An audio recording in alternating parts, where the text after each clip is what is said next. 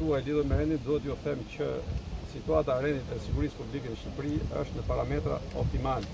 Pavarësisht ngjarjeve të fundit. Ngjarjet janë ngjarje, po ngjarjet nuk janë të atij niveli sa të përmbysin situatën. Pra ne duhet të bëjmë një dallim midis tablosë përgjithshme të situatës së rendit e sigurisë publike, e cila është duam apo s'duam në nivelet më të mira historike, se këtë e provojnë shifrat.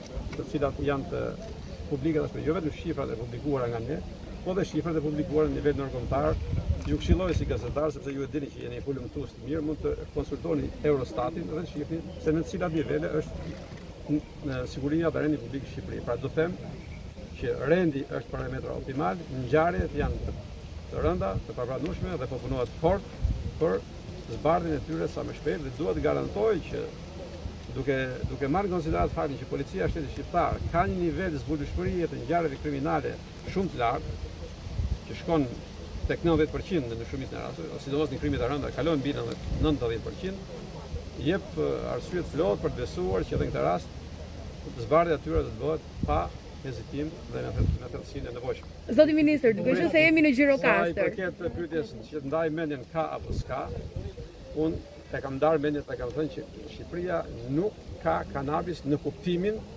e një plage të madhe shoqërore e si, si jemi mësuar ta kemi.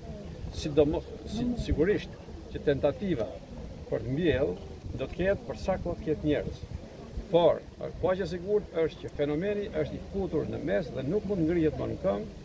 Këtë e provojnë shifrat, këtë e provojnë dy indikatorë që unë i mbaj në ndjekje përditë. Sasinë e lëndës narkotike që kapet në brigjet përballë në Itali apo në Greqi a në vende të tjera, e cila ka shkuar pothuajse drejt zeros dhe po ashtu ndiqen edhe tregues të tjerë që na provojnë që kanabisi është goditur dhe këputur në mes, sigurisht ka tentativa të izoluara të shkëputura në zona shumë të thella, të cilat po ndiqen këmba këmbës, falë një angazhimi madhor të Policisë së Shtetit dhe mundësitë për riaktivizim, për ringjallje apo për agravim të situatës janë, janë zero. Pra kjo është që mendja është e ndarë, fenomeni është inekzistent si fenomen. Zoti Lleshaj, dy ditë më përpara SHÇBA-ja në Gjirokastër ka asgjësuar një mijë bimë narkotike. Ku ka qenë drejtoria vendore e policisë së Gjirokastrës lidhur me zbulimin e parcelave? Në rastet, nuk e di këtë që numrin se... Po madje janë pezulluar edhe punonjës policie. Sigurisht, sigurisht që SHÇBA-ja punon vetëm, punon dhe bashkë me strukturat e policisë. SHÇBA-ja ndërhyn dhe dua të keni parasysh që Një ndër masat dhe mënyrat e ndjekur nga ne për ta goditur fenomenin ka qenë edhe goditja e personave të padenjë brenda policisë. Dhe kur mhm. angazhohet SHÇBA-ja sigurisht që synohet që edhe të identifikohen punonjës që nuk kanë kryer detyrën me veprime apo siç ndodh shpesh me mosveprime dhe mosangazhim në raste të shkëputura, po gjithsesi janë raste të shkëputura që provojnë seriozitetin tonë, që provojnë që ne i përdorim gjithë instrumentet për ta luftuar këtë fenomen sepse ky fenomen është një mallkim, ka qenë një mallkim për vendin tonë, që i ka prodhuar krim dhe po nuk e shrrënjosëm thellë, ne nuk e kemi bërë punën, por ne jemi të angazhuar për ta bërë thellë këtë punë. Atëherë Sekretari i Përgjithshëm i Ministrisë së Mbrojtjes ditën e sotme ka dhënë dorëheqjen. A është e vërtetë që ka një javë dorëheqja në zyrën tuaj dhe ju nuk e keni firmosur dhe a ka lidhje me tenderat e uniformave blu? Së pari nuk nuk ka një dorëheqje të sekretarit të përgjithshëm, ka një lëvizje të sekretarit të përgjithshëm në një detyrë tjetër. Ju dini që administrata publike funksionon si e tërë dhe në kuadër të menaxhimit të kësaj administrate publike bëhen lëvizje, të cilat janë krejt të natyrshme në një strukturë të tillë. Histori me tendrat nuk ka, sekretari i përgjithshëm nuk është marrë me tendrat, nuk merret me tendrat, për tendrat ka një agjenci të specializuar e cila i kryen ato. dhe i nënshtrohet një procesi të veçantë auditimi, verifikimi, hetimi kur ka nevojë për hetuar, por dua të them që gjithçka është në nivelet optimale, Ministria e Brendshme është sot në ditët më të angazhuara të punës saj për të menaxhuar rendin, sigurinë dhe fusha tjera të përgjegjësisë. Faleminderit. Sot jemi në një sport. Ditët e fundit kemi dëgjuar shumë vrasje. A është normale për një vend si ky të thonë Keni dëgjuar shumë vrasje këto ditë. Madje këto ditë ka ndodhur pothuajse dhjetë për qind e vrasjeve që kanë ndodhur gjithë vitin në Shqipëri. Pra, kjo është është diçka e cila për fat të keq, për sa kohë kemi njerëz, edhe ndodh që mund të kesh 2-3 ditë që ke një një përqendrim të të veprave kriminale dhe pastaj ke 2-3 muaj që s'ke asnjë vepër kriminale.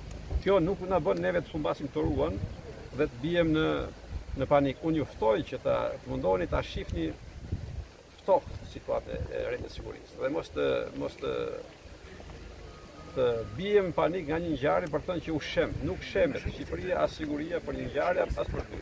Por ju them që gjithsesi numri i veprave të rënda kriminale në Shqipëri është ky që është. Jemi më pak se krahasuar me të njëjtën periudhë të vitit kaluar, jemi shumë më poshtë, jemi shumë më poshtë se çdo periudhë e ngjashme e historisë tonë. Kaq është, kjo është e përbushme, ne sot kemi rreth 35, 35 vrasje për gjithë vitin deri tani. S'kemi pasur kurrë ndonjëherë në historinë e re të Shqipërisë, kaq. A janë shumë, sigurisht janë shumë, duhet të jenë zero, por zero nuk bëhen kurrë për sa kohë ka njerëz të bërë.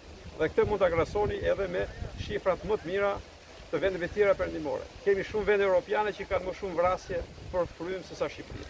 Shumë vende europiane, jo vende t'rajonit, vende europiane. Ndaj unë ftoj edhe median, edhe publikun, edhe shoqërinë që të mundohemi, të mundohemi të mos e, krijojmë situata histerie dhe paniku dhe tjetra të distancohemi pak nga krimi. Dhe distancim nga krimi unë kuptoj mbështetjen e policisë. Se nganjëherë i turremi policisë as thua se policia i bën vrasjet. Jo, policia është për t'i parandaluar dhe për të, të gjetur dhe vënë para përgjegjësisë autorët e tyre. Kështu që nuk mundet dhe për këtë e kam shqetësim për ata që e kanë arrin ta, ta ndjejnë shqetësimin njëlloj si unë. Ka tjerë që s'duan ta ndjejnë, mos ta ndjejnë, por për ata që arrin ta ndjejnë përgjegjësinë për këtë vend seriozisht, duhet që në këto momente policia të inkurajohet për të bërë detyrën. Sepse s'duhet të harrojmë që policët janë njerëz. Që edhe ata mund të zhgënjehen, më fal, edhe ata mund të zhgënjehen që do të thotë, edhe ata mund të demotivohen dhe ta bëjnë punën më keq. Ne kemi interes që policët ta bëjnë punën më mirë dhe që ta bëjnë punën më mirë ata kanë nevojë për mbështetjen tonë, të medias në radhë parë, të qytetarëve në radhë dytë, sigurisht të ne kemi detyrë funksionale dhe s'bëhet fjalë për mbështetjen tonë. Faleminderit.